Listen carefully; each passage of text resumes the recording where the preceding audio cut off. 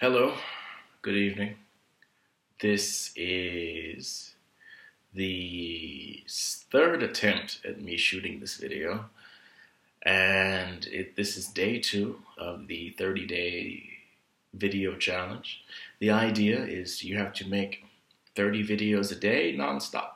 So I was inspired by several other YouTubers, and so day two. Let's get it going. So, what am I going to talk about? Well, I want to talk a little bit about my job. Now, as you already know, and as I have mentioned before, I work in a foreign country, and that country is Japan. Now, my employment, by the way, this suit I'm wearing is obviously for my job. I don't dress up for these videos. uh, in fact, I basically get off work, I eat dinner, and then I shoot a video. So that's pretty much how that works, and hence the reason why I'm wearing this. But in any case, I am a teacher now. And I have been a teacher coming up on a considerable amount of time. I think I started last year, last April. Yeah, so, you know, it's starting a new year as far as the Japanese school schedule is concerned. And uh, it's been interesting. And how I got this job was I just went online and I started looking for opportunities to teach or opportunities to work in Japan. Because at first I only thought that there there was it was the JET program. And if you didn't get accepted to the JET program, then therefore you wouldn't be able to go to Japan.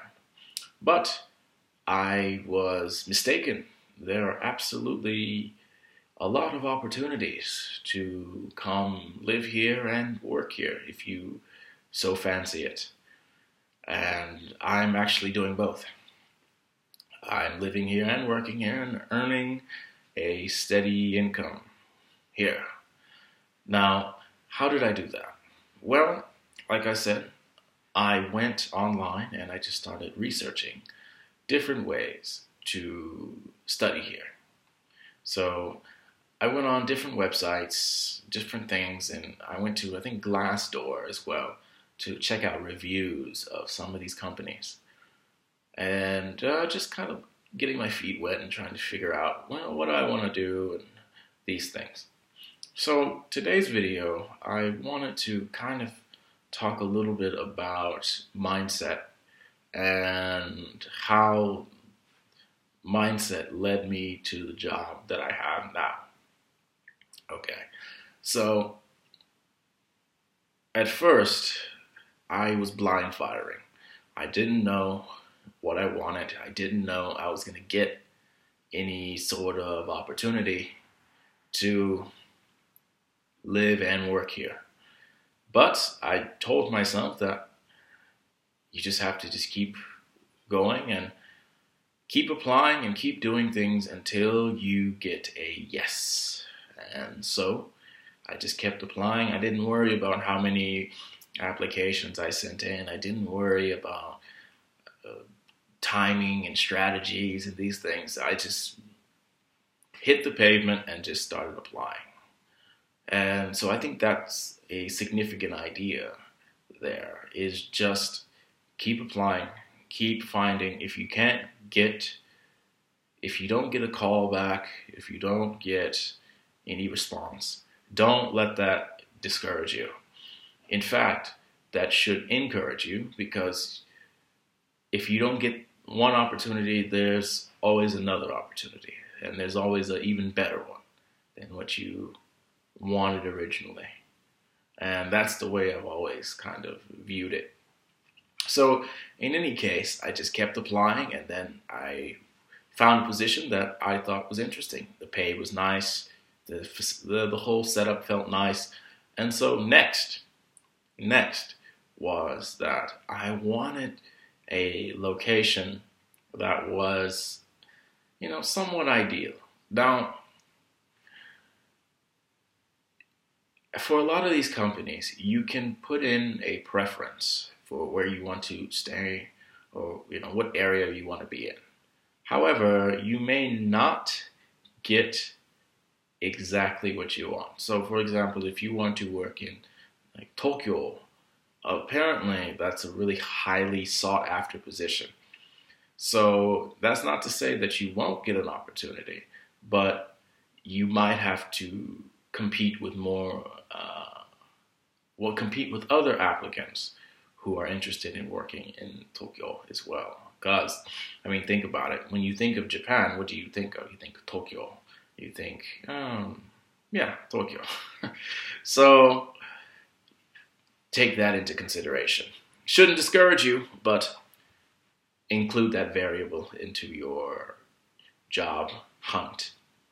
Now, for me, I put in my preference and I was flown out for an interview.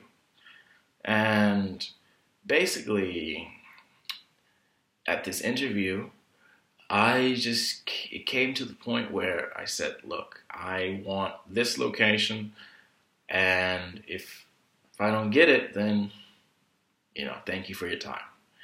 And so, I think the walking, the being able to walk away from an opportunity, kind of helped me get it. Now, let me explain.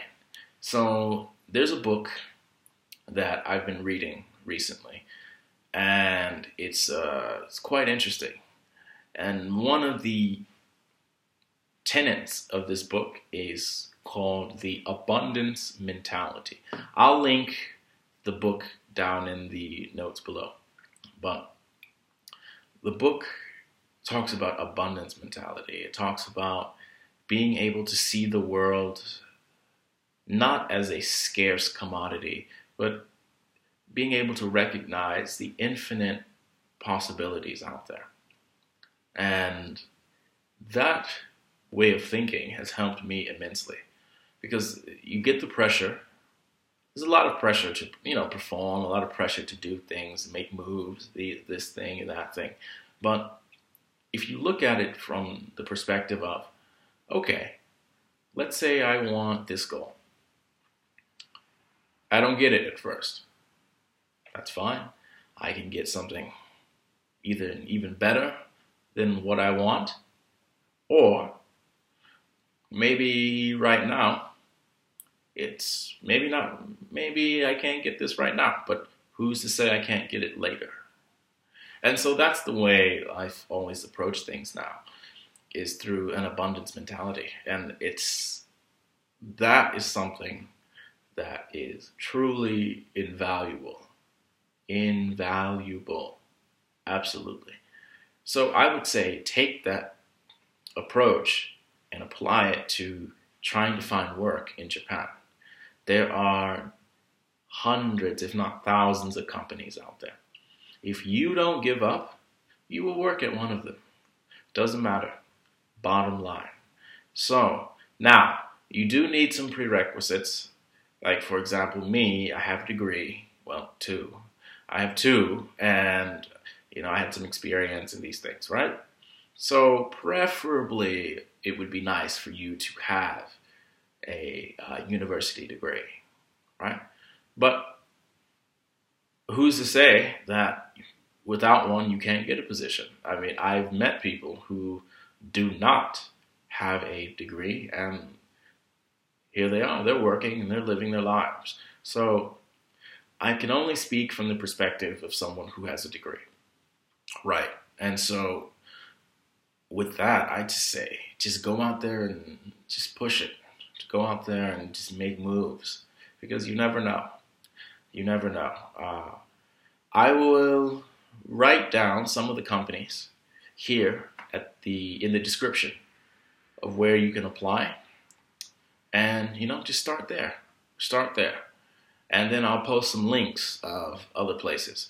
So if you are interested in doing um, changing your life, or if you're interested in getting a new perspective, or you know challenging yourself, whatever the case may be, and I can help you, or this video can help you in any way, I would be more than happy to do so.